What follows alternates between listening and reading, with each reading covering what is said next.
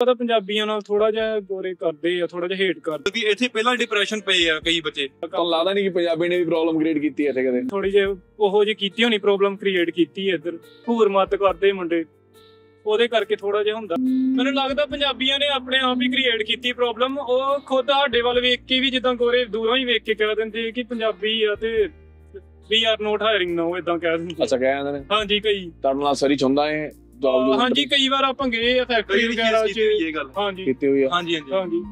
ਕੀ ਲੱਗਦਾ ਕਿਹਦੀ ਗਲਤੀ ਇਸ? ਹੈਗੀ ਬੰਦ- ਗਲਤੀ ਆਪਣੇ ਲੋਕਾਂ ਦੀ ਗਲਤੀ ਹੈਗੀ ਹਾਂਜੀ ਆਪਣੇ ਦੀ ਆਪਣੇ ਲੋਕਾਂ ਦੀ ਜ਼ਿਆਦਾ ਆ। ਗਲਤੀ ਆ।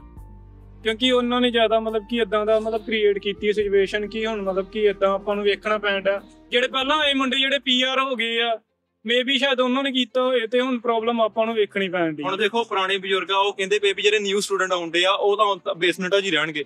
ਇਹ ਕਿਵੇਂ ਦੀ ਗੱਲ ਬਾਈ ਇਹ ਤਾਂ ਡੀਮੋਟੀਵੇਟ ਕਰਨ ਵਾਲੀ ਗੱਲ ਆ ਨਾ। ਸਹੀ ਗੱਲ। ਤੇ ਤੁਸੀਂ ਮੋਟੀਵੇਟ ਕਰੋ। ਹਾਂ ਮੰਨਦੇ ਹਾਲਾਤ ਬਹੁਤ ਮਾੜੇ ਆ ਸਾਡੇ ਨਾਲ ਵੀ ਇਹੀ ਚੀਜ਼ ਬੀਤਦੀ ਆ।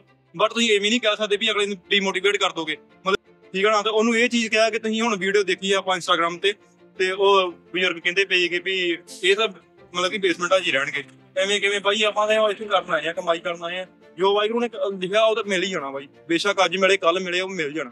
ਸਹੀ ਹੈ bro thank you so much you amazing. Thank you so much thank you bye. Thank you ਬੜੀ